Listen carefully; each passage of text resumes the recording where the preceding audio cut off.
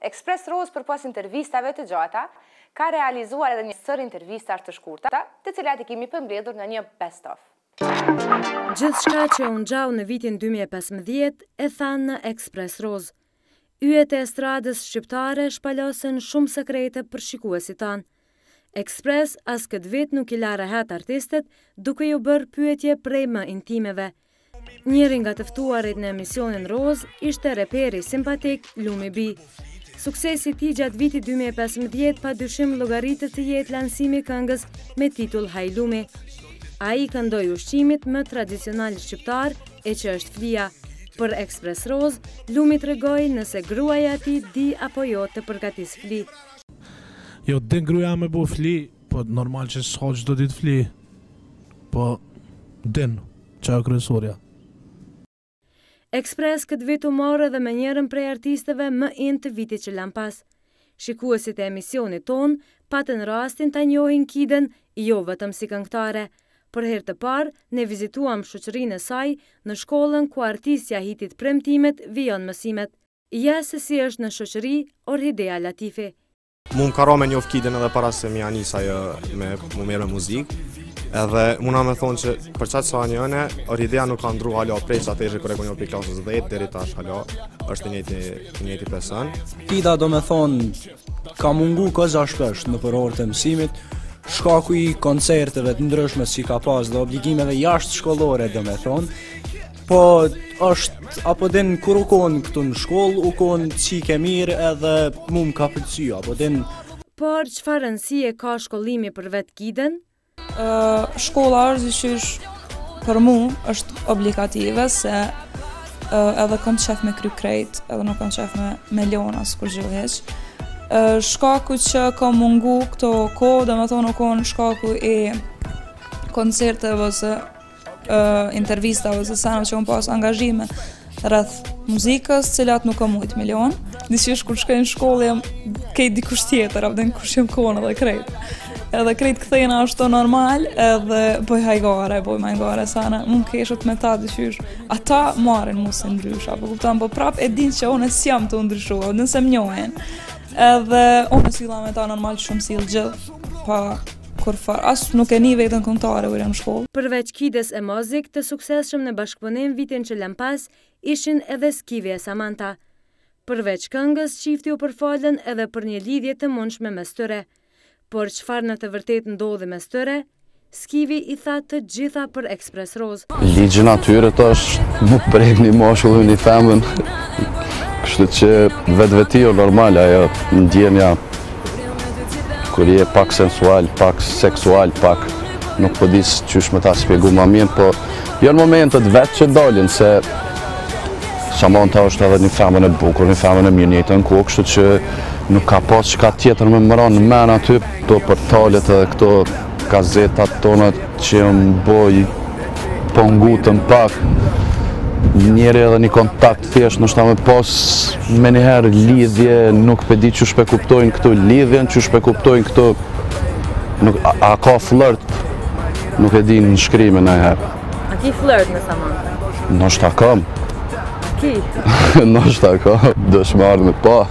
Reperi prishtinas për herë të parë foli për jetën private duke treguar se sa lidhje serioze kishte pasur në jetë. Domethon n'jetë teme i kom pas dy lidhje t'gjata, kom provu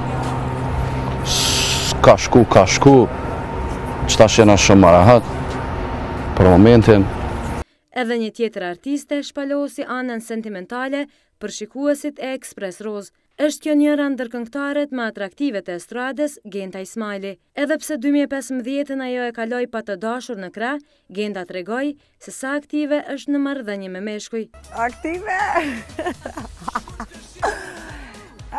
S'jam edhe qaq, s'jam aktive, jam aktive. Duhet me konë aktive. E njëra nga ngjarjet më të përfolura të 2015-ës Ishte padyshim pjesëmarrja e këngëtares me famë botërore Rita Ora në dasmën e miqve të saj në Prishtinë. Për të folur rreth këtij ahengu në Express Rozë ishte i ftuar Afrim Muçiqi këngëtari që performoi atë natë në dasmë. Vetë prezenca e saj ndoshta pak e ka bo ambientin si ambient ma ndryshe se ambiente tjera po përfundimisht ka qenë një natë e paharruar ndoshta njëra prej netëve ma të mira të karrierës teme. Zemrën për rozë e hapi edhe njëri prej artistëve më të rinj dhe më të talentuar të estradës, Butrint Imeri. Përmes këtij emisioni, ai i la një porosi vajzës që i kishte thyer atij zemrën. Asaj çike që ma ka thy zemrën në qët intervistë, i thom unë vetë, Ki me lypë dikan si mu, dikan si mu, dikan si mu, Ki me lyp dikan si mu, dikan si mu Se as unë perfekt nuk jam E gjithkush niherë gabon Veç ti ki me lyp, ki me lyp Dikan si mu, dikan si mu, dikan si mu Këngë gjatë këtij viti lansoi edhe njëri nga personazhet më interesante shqiptare. Pas lansimit të You Can Copy the King, Vali Corleone foli për Express Roze. Për herë të parë ai shpalosi fakte interesante mbi jetën e tij. Ai tregoi se sa milionë i ka në konto. Domethonë unë jam në veti, ki fjallën për pasurinë teme, domethonë në emër tem, Prince Valentino Corleone, qysh është në dokumenta, nuk e di, domethonë, pasuria sa sillet totali, nuk e di, po, mund me qenë deri 17 milion, 20 milion, pasuri. Se e ka prekur milionshin, tek ne e kishte zbuluar edhe Donjeta Kasumi e njohur si Kallashi. Përveç hobit të saj që është vallëzimi, Express Roze, Kallashin nuk e kurseu as nga pyetjet më intime. Për herë të parë ajo bëri të ditur pozitën e preferuar seksuale. Pozita që më pëlqen mu ma së shumti kur jam me partnerin, pozita gjashtëdhetë e nëntë. Për jetën seksuale nuk hezitoi të flasë as njëra nga këngëtaret më seksi shqiptare, Shkënda Dubova. Ajo, gjatë një interviste të realizuar për Express, tregoi se si i pëlqen të kryejë marrëdhënie me të dashurin. Më pëlqen. Prej derës në korridor, prej korridorit n'dhomë t'ditës, prej dhomës ditës, po në dhomë t'fjetjes edhe me fletë. Që kjo është, në është ma, ma mirë.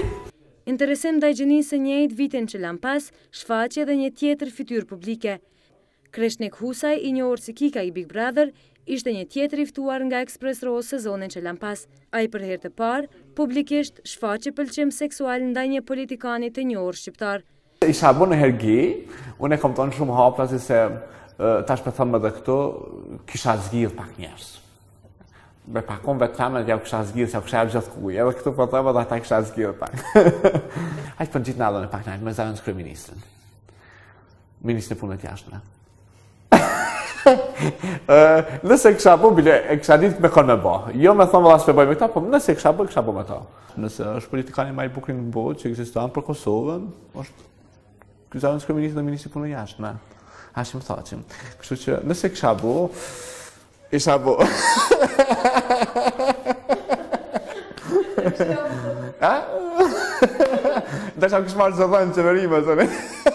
Express Roze, sezonin që lamë pas pati dhe figurat e tjera të showbizit në vend. Se çfarë do ndodhë me artistët vitin 2016, si gjithmonë do ju mbajmë të informuar. Na ndiqni!